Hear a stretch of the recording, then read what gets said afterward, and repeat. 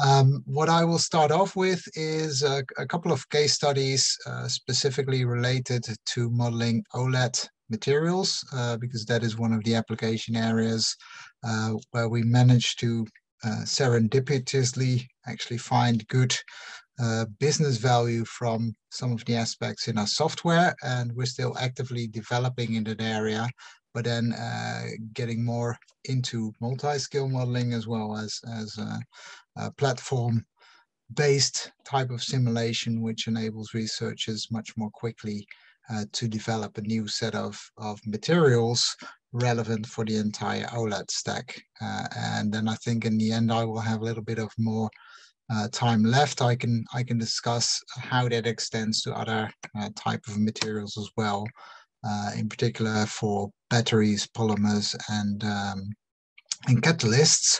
Uh, but let, us see how we get along.